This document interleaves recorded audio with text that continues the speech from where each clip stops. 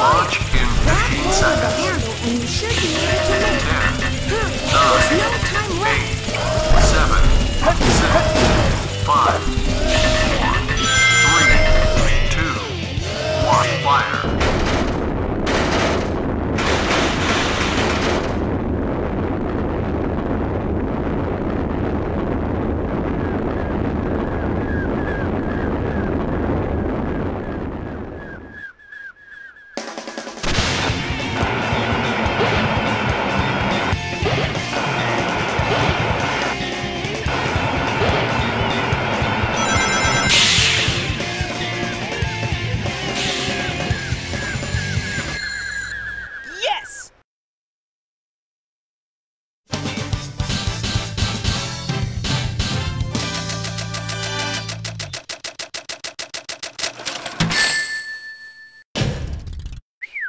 That was cool!